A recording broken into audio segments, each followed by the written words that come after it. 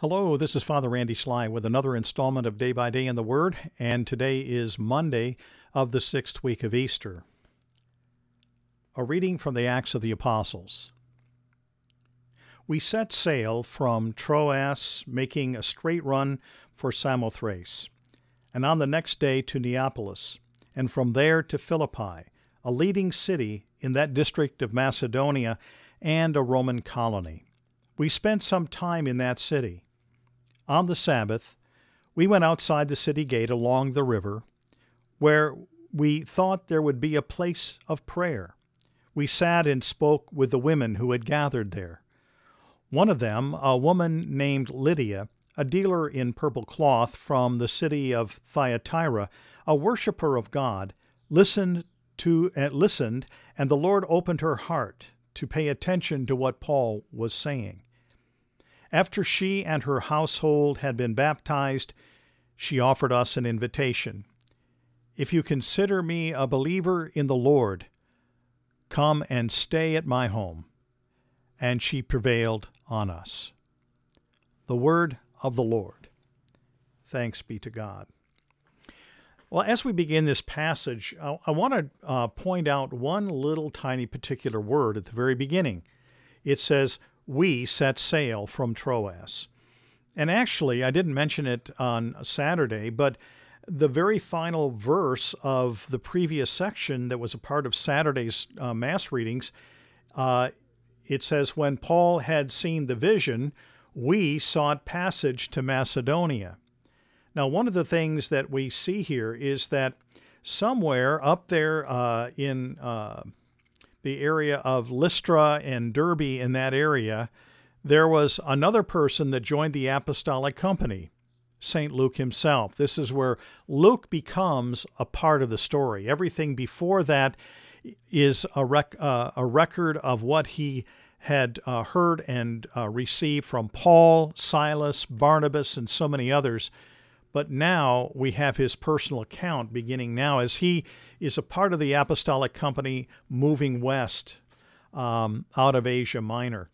And so they set sail from Troas, which is at the very edge, the very uh, western edge of Asia Minor, and they set sail through the Aegean Sea.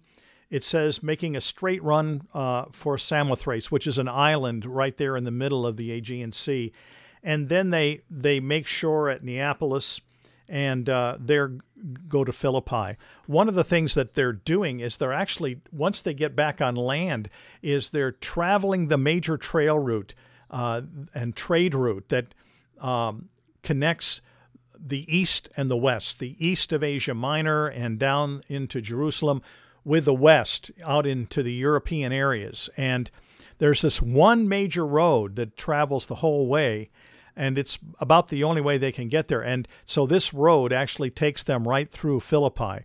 So this makes Philippi a major city. It's a city, it's a Roman colony. The Romans are running it, but it's also uh, a very wealthy city because this is a part of the trade route. And so there are people coming from all over. As we see in part of the passage, we have Lydia from Thyatira.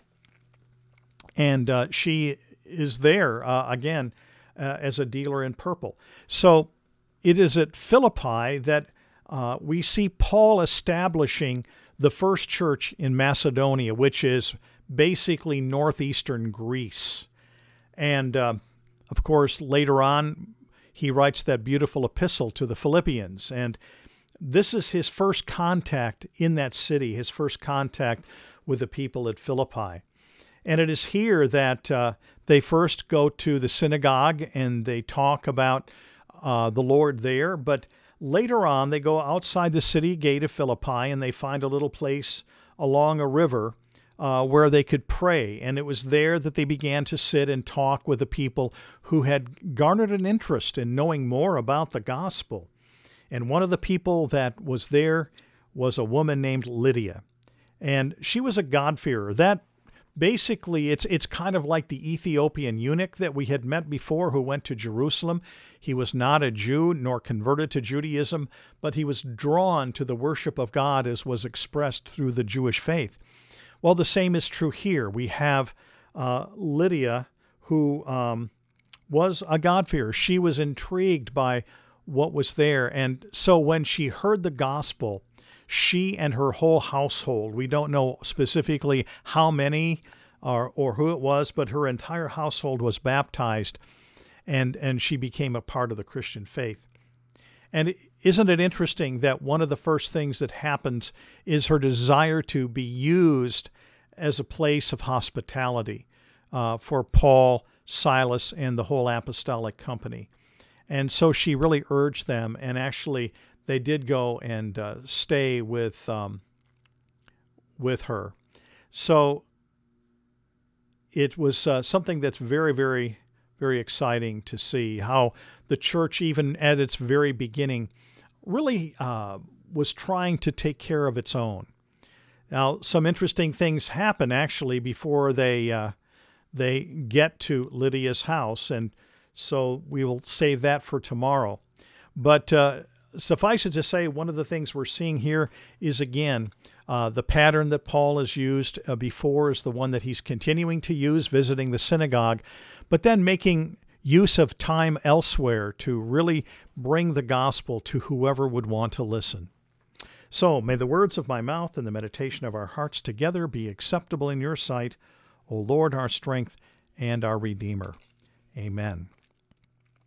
Well, we will see you again tomorrow, the Lord willing, on uh, day by day in the Word as we continue our journey through uh, the Acts of the Apostles. So may Almighty God bless you, the Father, the Son, and the Holy Spirit.